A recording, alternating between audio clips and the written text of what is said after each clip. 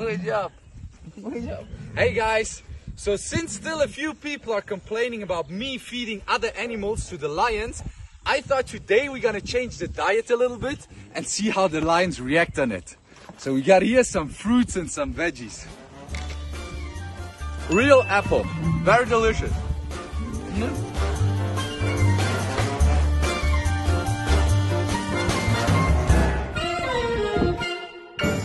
Bananas.